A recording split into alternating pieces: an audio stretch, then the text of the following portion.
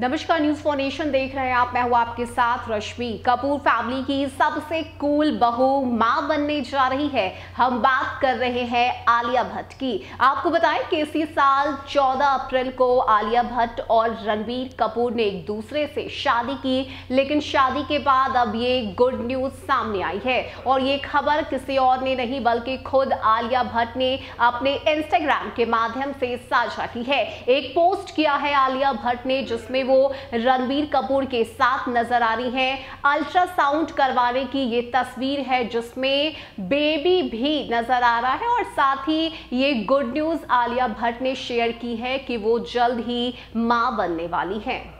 आपको बताएँ कि एक्ट्रेस आलिया भट्ट माँ बनने वाली है। इस बात की जानकारी उन्होंने खुद सोशल मीडिया पे पोस्ट करके साझा की है। आलिया ने हॉस्पिटल की फ़ोटो शेयर कर लिखा है, हमारा बेबी जल्द आ रहा है।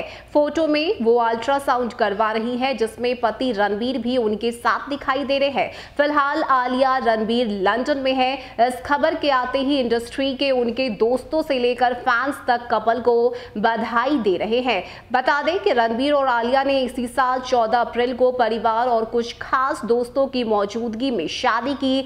साल 2017 में ब्रह्मास्त्र फ़िल्म के सेट पर मुलाकात के बाद दोनों ने एक दूसरे को डेट करना शुरू किया। डेटिंग के पाँच साल बाद उन्होंने शादी की। ऐसे में बता दें कि रणबीर की अपकमिंग प्रोजेक्ट में लव रंजन की अनटोल्ड रोमांटिक कॉमेडी दिखने वाली है। इसमें वो श्रद्धा कपूर के साथ भी नज़र आएँगे। लेकिन बात अगर करें तो जैसे ही ये खबर सामने आई है कि आलिया भट्ट माँ बनने वाली है, लगातार जो फैंस हैं, वो कमेंट्स कर रहे हैं और आलिया भट्ट और रणबीर कपूर को बधाई भी दे रहे हैं। तो सबसे कोल इंडस्ट्री की ये जोड़ी है आलिया भट्ट और रणबीर कपूर की। इसी साल चौदह अप्रैल को ये दोनों शादी के बंधन में बंधे परिवार वालों की मौजूदगी में इन दोनों ने शादी रचाई। और बात अगर हम करें तो इस शादी को काफ़ी ज़्यादा पर्सनल रखा गया था। मीडिया मीडिया वालों से दूर रखा गया था। और शादी के बाद रणबीर और आलिया जो है, वो मीडिया के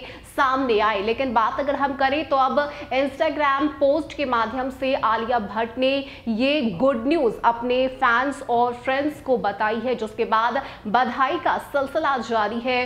और अब कपूर खानदान में ये जो नन्हा मेहमान है, वो आने वाला है, जिसको लेकर तैयारियाँ अभी से ही शुरू हो गई है।